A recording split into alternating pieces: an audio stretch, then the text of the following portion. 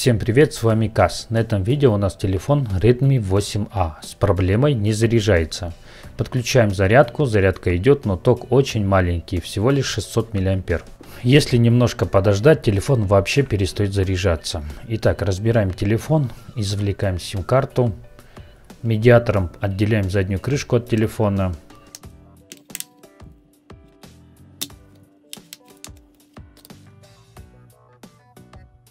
Далее откручиваем отверткой винтики. Медиатором отделяем модуль динамика. Отключаем межплатный шлейф. Откручиваем винт, который фиксирует нижнюю плату. Отделяем нижнюю плату от телефона, чтобы оценить состояние разъема зарядки.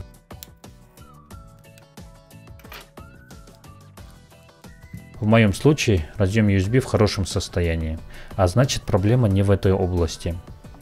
Разбираем верхнюю часть телефона. Визуально никаких проблем нет.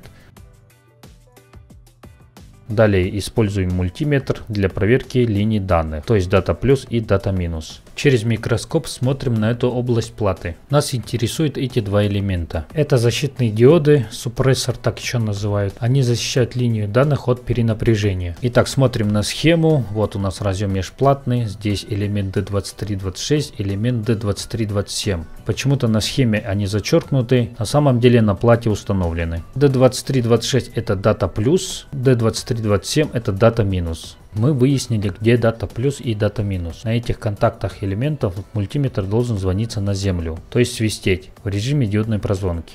А на этих контактах элементов мультиметр не должен звониться на землю. Показывать должно 600-700 единиц. Проверяем левый элемент, линию дата плюс.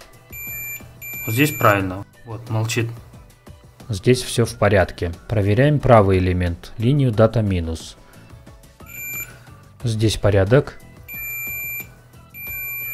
Она замкнута. Здесь мы видим проблему. Линия или элемент находится в коротком замыкании. Мы выяснили, что левый диод в порядке, а правый нужно отпаять от платы и еще раз проверить линию. Отпаиваем этот супрессор.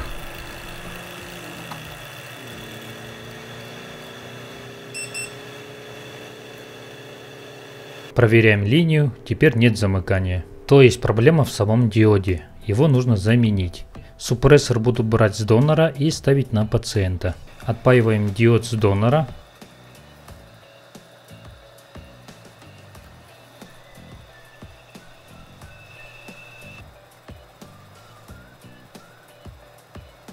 Далее ставим диод на наш пациент.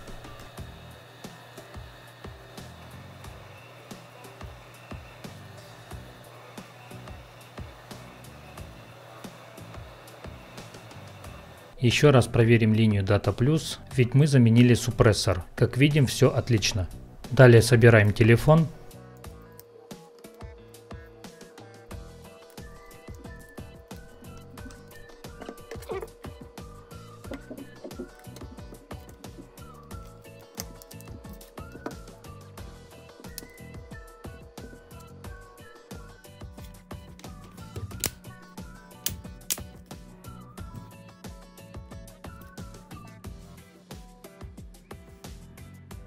Телефон собран, подключаем зарядку.